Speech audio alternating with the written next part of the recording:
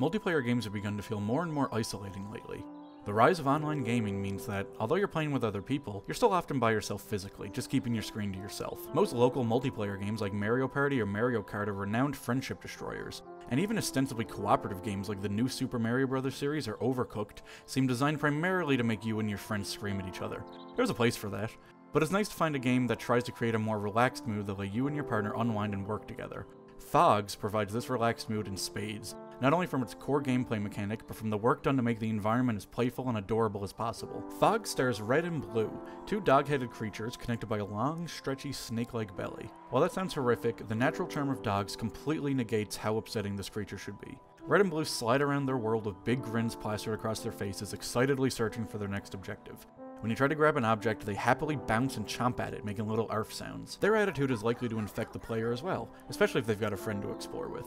Since Phogs drops you in without much direction, you naturally just start trying things and see what happens. For example, before we'd even reached the tutorial area, my partner and I became consumed with a beetle scurrying around the hub world. We chased it, bit it, tried to wrap ourselves around it to ensnare it in our snake belly. Shortly after that, we came across a bone and, immediately recognizing it as a collectible, bolted towards it. Because there are so few controls, our first instinct was to mash the jump button, which also happens to be the bite and bark button, meaning we were barking our heads off while hopelessly trying to climb the wall. Without discussing or planning it at any point, we were essentially role-playing as overexcited puppies.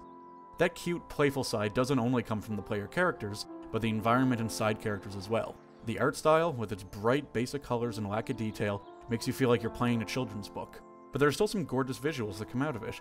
The sleep world in particular uses a purple tint over everything that creates a gloomy, dreamlike feeling that's really beautiful. The side characters are given equally simplistic designs, but they still work. Food World, for example, is populated by weird creatures with oversized limbs and doofy grins, some of whom will stoop down and give you pets.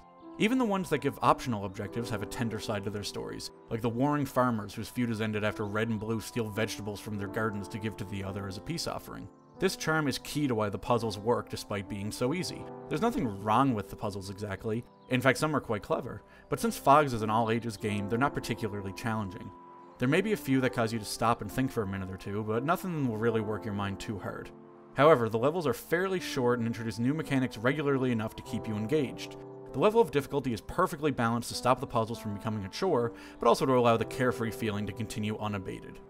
Unfortunately, much of this charm is also reliant on having a partner to play with, so the single player mode heavily suffers.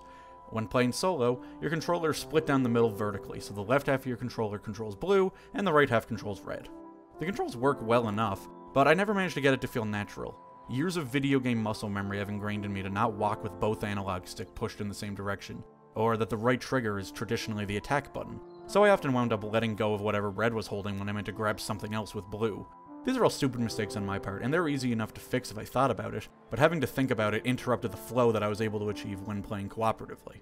More important than the controls, however, two-player mode is better simply because you need a partner to help find the silly, playful mindset this game instills in you. Where solo player may be more focused on completing objectives, co-op players are more likely to simply engage in silly behavior or explore an unimportant detail of the environment to amuse their partner.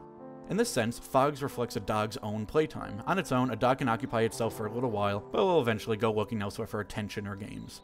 Put two dogs together, however, and they can endlessly exhaust themselves with hours of sweet, and good-natured fun. So, while it may struggle to hold a solo player's interest, Phogs is a fantastically delightful and easygoing cooperative experience I could recommend to anyone. Thanks a lot for watching this review. For more reviews, check out gbatemp.net.